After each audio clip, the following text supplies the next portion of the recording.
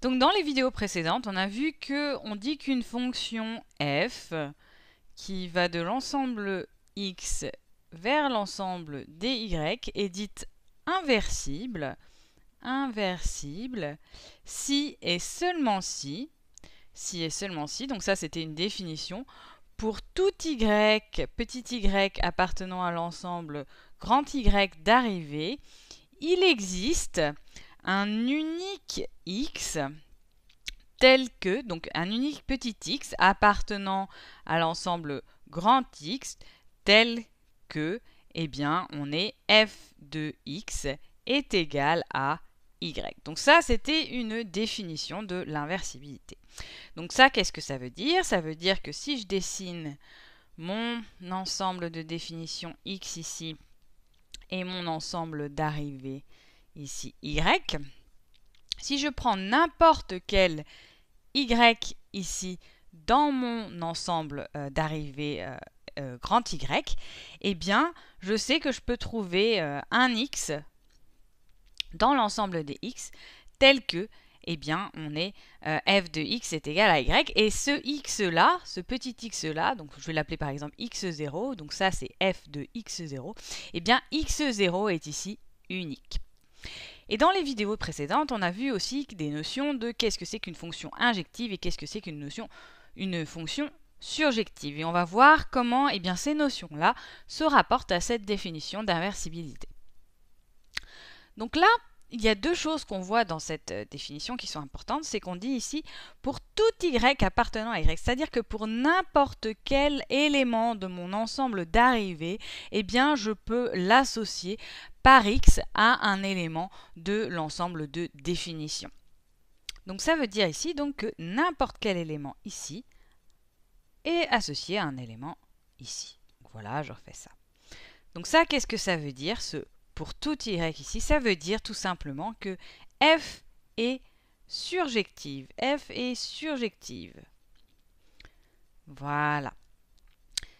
Donc, ça veut dire que si j'ai un élément ici dans mon ensemble y qui n'est pas associé à un élément dans x, eh bien, euh, f ne serait pas inversible ici. Donc, je vais mettre, je vais mettre une autre couleur pour qu'on voit bien. Donc, si j'ai un élément comme ceci qui n'est pas associé à aucun élément dans X, f n'est pas, n'est pas inversible dans ce cas ici.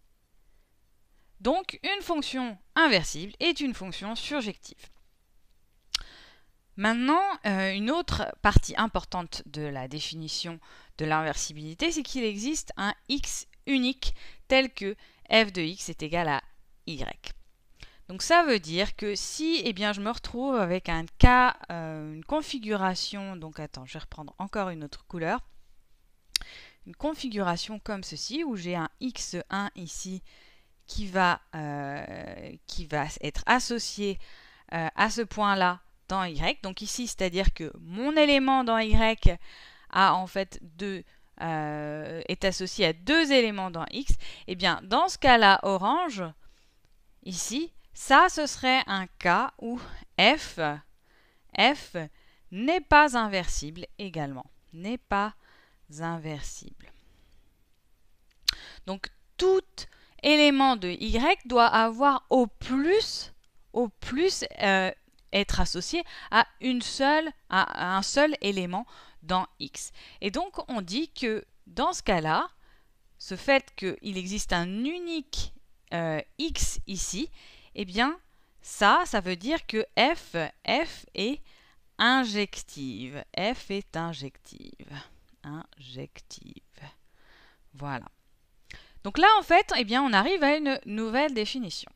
C'est que F est inversible. F est inversible si et seulement si.